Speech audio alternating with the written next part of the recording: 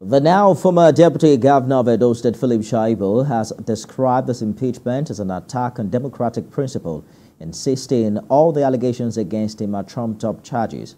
Mr. Shaibu, in a video circulating on social media, described this impeachment as illegal. He also believes it will not stand the test of time. On me as an individual, it is with heavy heart, yet a resolute spirit, that I come before you to address the recent events that have unfolded within our dear state. I denounce in strongest terms the illegal impeachment by the Edo State House of Assembly over Trump-up charges. This is not just an attack on me as an individual, but on the very democratic principle that we hold there. It is a dangerous descent into dictatorship and a threat to the foundation of our democracy.